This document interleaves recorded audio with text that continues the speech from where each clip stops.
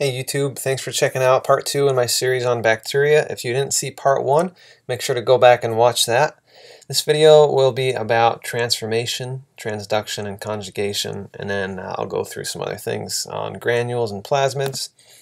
So we'll start off with how genetic information is transferred in bacteria. There's three ways. So we've got transformation, transduction, and conjugation. It can be kind of um, easy to confuse certain aspects of these three things. So I'm going to uh, make it real easy for you guys, give you a couple ways to remember these things, and just give you all the important stuff with no fluff. So let's get into it. DNA transformation. So DNA transformation um, is going to involve the uptake of naked DNA molecules. Now when I say naked DNA molecules, I mean just DNA, no other proteins or enzymes. So it's a process in which naked DNA is released by lysis of one bacteria and taken up by a second, leading to a change in phenotype. So you've got two bacteria. Let's pretend that one one of your hold up your fist. One fist is a bacteria. Hold up your other fist. That one is a second bacteria. The second bacteria lyses. So you open your hand, it lyses, it releases DNA. The second bacteria, this other bacteria comes along and incorp takes in that DNA. That's called transformation. So what do we have to know about this? It's the most susceptible to DNase, an enzyme that snips DNA, and no cell-to-cell -cell contact is required. Okay, moving on to transduction. So to remember this, we're going to think of a transducer.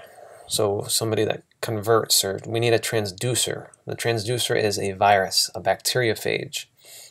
So in this one, transfer of genetic material from one bacterial cell to another by that viral infection of that bacteriophage.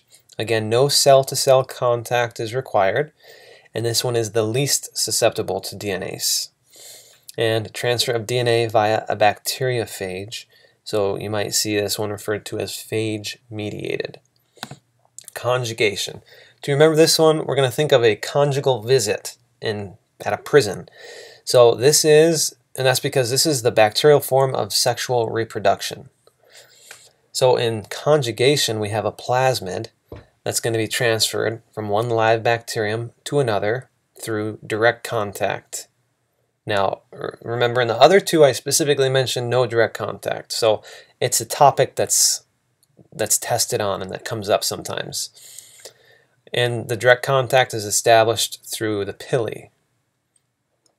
So we come across something called F factors or F plasmids.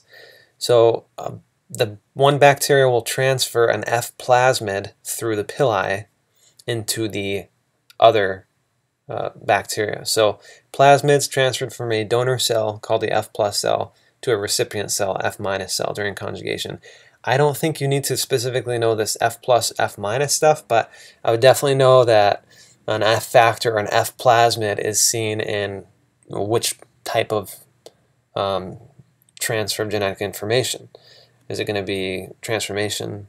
Is it going to be transduction or conjugation? It's going to be conjugation. So definitely have to know that.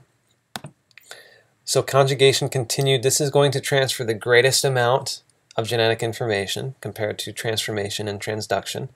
And antibiotic resistance is transferred to other bacteria through this method.